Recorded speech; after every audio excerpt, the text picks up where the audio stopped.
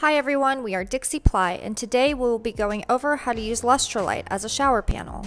You will need a second person to help and there are some standard tools you'll need as well. If you are using Lustrolite on an existing surface, make sure it is thoroughly cleaned and free of defects. Lustrolite is 4 millimeters thick and you will need to take that into consideration when installing faucets and fittings. All joints must be sealed with a silicone or waterproofing product. You should paint the wall behind the joint with a similar color to the panel. The seams should be done with a neutral cured silicone and they should be 4 millimeters. This will allow for expansion and contraction of the panel. The panels come with a protective film on both sides. Do not remove the film on either side at this stage. It's very important to understand which side is the front and which side is the back.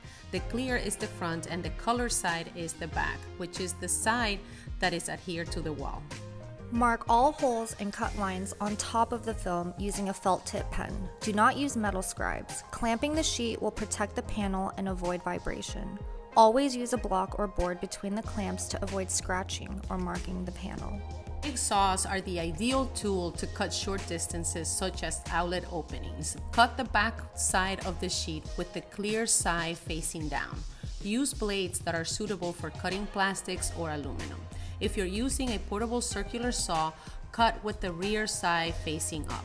If you're using a fixed table saw, you should cut the panel with the rear color side facing down. Slightly blunt drill bits work better because they are slower. Always drill from the clear or front side of the sheet to reduce the risk of chipping. Best results will be achieved with a low to medium drill speed. To make smaller holes into larger ones, use a step drill bit at a slow to medium speed. Once the panel has been cut and drilled, edges must be sanded to a smooth finish. At this point, remove the protective film from the back and scuff it with a 240 grit sandpaper in a circular motion. This will ensure better adhesion to the surface. Then clean and remove all dust before applying the tape and silicone. Apply strips of double-sided tape to the length of the back of each panel at about a foot apart. Apply a 6mm bead of translucent neutral cure silicone in a wavy pattern between each strip of tape near the edges of the panel. Increase the wavy pattern as you go down the panel. Run a bead of silicone around any holes, fitting holes, or cutouts.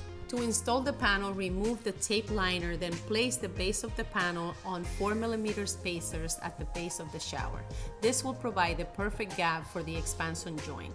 Once correctly in place, push the sheet onto position and firmly rub down the panel to ensure the adhesive, tape, and silicone bond to the wall. After 24 hours, seal the joints with neutral cure silicone. Once the gap is filled, remove the excess silicone with a soft, flexible plastic spatula, then remove the outer protective film in one continuous movement to achieve the best finish.